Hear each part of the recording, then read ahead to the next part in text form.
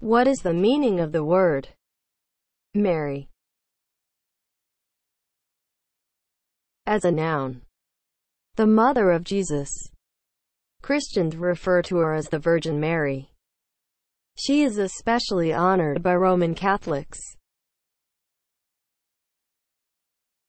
Mary is spelled M A R Y.